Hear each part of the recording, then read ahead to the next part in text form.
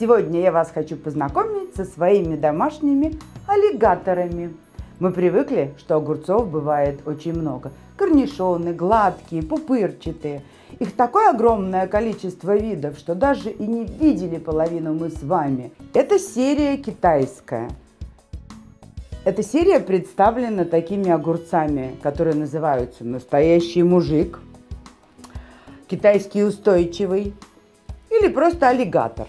Посмотрите, сам плод похож на крокодильчика. Такие вот у него э, бугорки, очень бугристая поверхность. Но самое главное, что эти огурцы очень-очень вкусные, сочные и ароматные.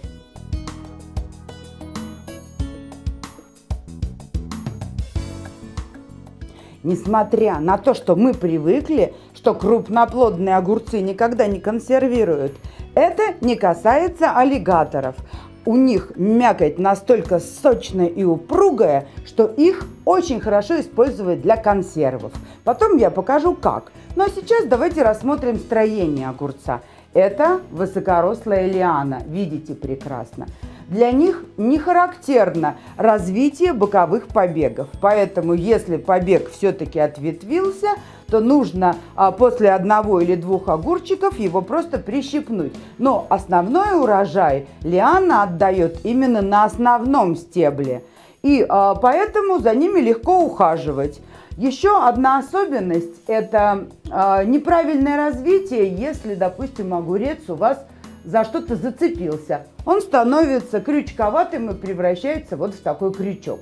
То есть лучше его освободить, и тогда он будет свисать а, вот таким красивым образом, похожим на гирлянды. Если у вас огурцы а, такие длинные, что касаются земли, то под них нужно, так же как под тыквы, например, или кабачки, подложить дощечки, чтобы а, от земли не начинались гнили. Поэтому вот следите за этим.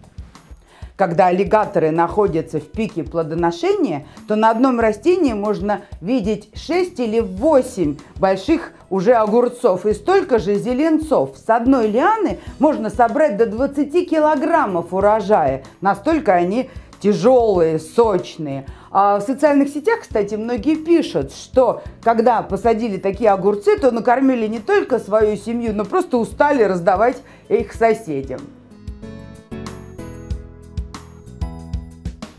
При выращивании этого растения нужно помнить, что лиана мощная, огурцы тяжелые, поэтому опора нужна солидная и устойчивая. Вот у меня такая сетка.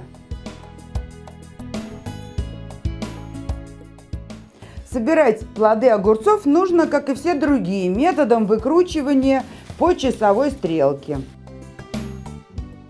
Корзинка мала для таких огурцов.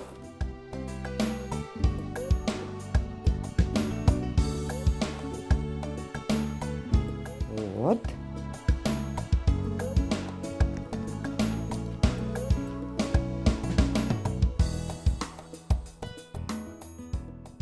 Ну что ж, часть урожая собрана. Пойду мариновать.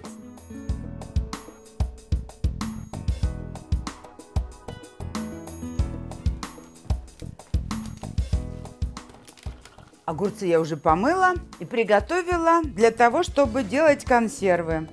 Резать я их буду бочонками. Вот даже такой кончик я отрезаю.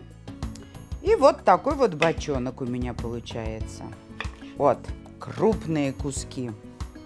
Но они хрустят, и они очень-очень упругие. Поэтому, когда вы откроете баночку с этими консервами, вы даже не заметите, что они нарезаны. Вам будет казаться, что это абсолютно целиковые огурцы.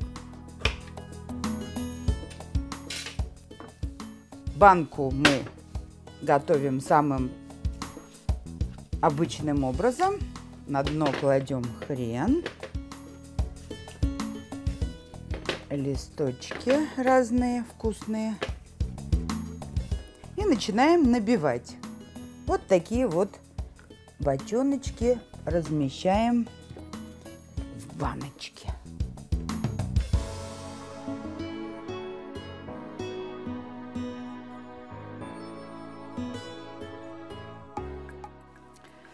Наверное, понадобится еще один огурчик.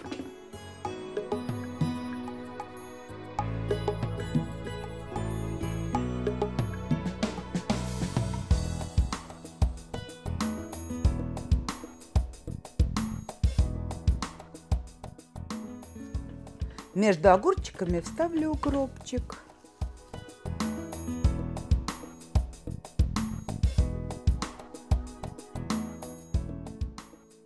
Поставлю на подставку и заливаю кипятком.